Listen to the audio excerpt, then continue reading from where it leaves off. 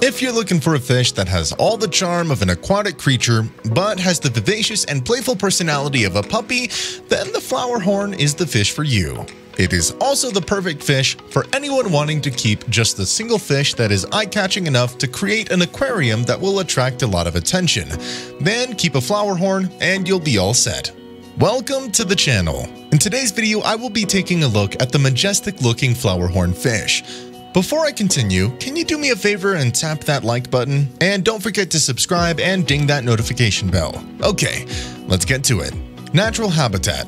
The flowerhorn, being an artificially created fish, doesn't have any natural habitat. The next best thing would be to look at the natural habitat of the larger South African cichlids, as the flowerhorn is essentially a mix of those fish. They generally inhabit warm waters with varying levels of vegetation. Some of these fish have been released into the wild around the world, where they have become an invasive species. However, as they are mostly infertile, they do not present the same level of threat as other invasive species. Physical description While fish are generally seen as dainty and somewhat delicate, the flowerhorn is the exact opposite of that. They are substantial fish with a stocky build. However, they are very beautiful as well. Their anal and dorsal fins are long and flowy, but their defining feature is the bulge on their head. The flower horn does come in a few varieties, and this bulge can vary from a small bump to a full-blown bulb.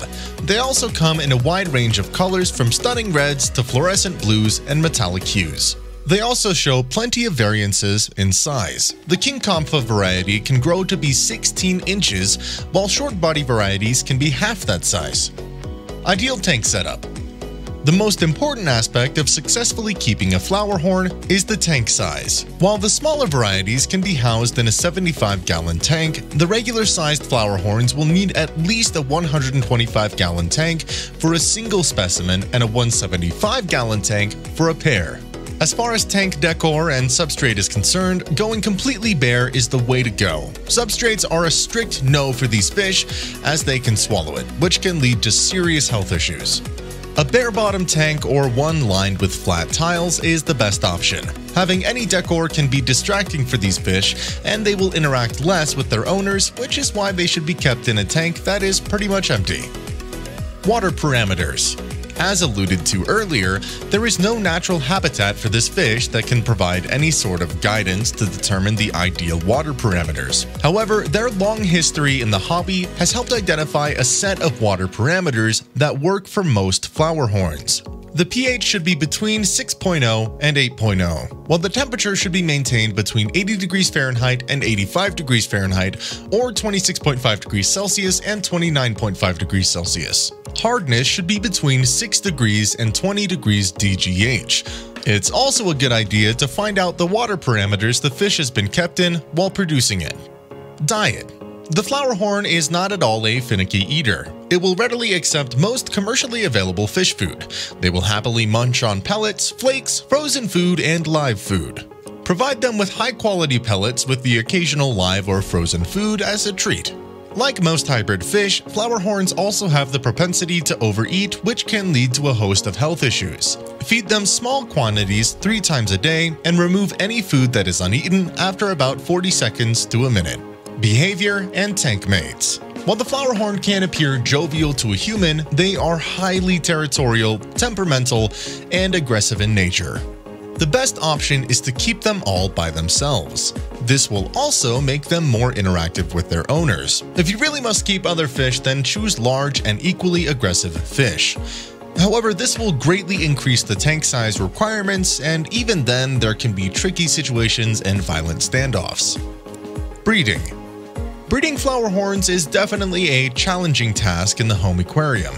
To begin with, most flower horns are sterile by birth. If you're fortunate enough to get a fertile male and female, the next challenge arises in getting them to live in the same tank without trying to kill each other. A successful strategy is for the tank to be divided into two parts using a clear divider through which water can pass from one side to the other. This will allow hormones to pass through. Raise the temperature by a degree or two and feed them protein-rich food.